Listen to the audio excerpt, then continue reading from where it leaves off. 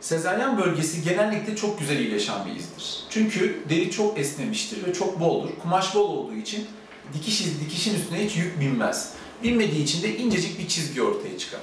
Bazı kişilerin genetiği gereği yarası çok kabararak iyileşiyorsa veya doğumu zorsa veya doğum esnasında bir sıkıntı çıktığı için dikiş daha uzun yapılmışsa bu tip hastalarda biz bazen o dikişin tekrardan kesilip dikilmesini sağlayabiliyoruz. Bunu lokal anesteziyle yapıyoruz. Böyle hastalarımız da var.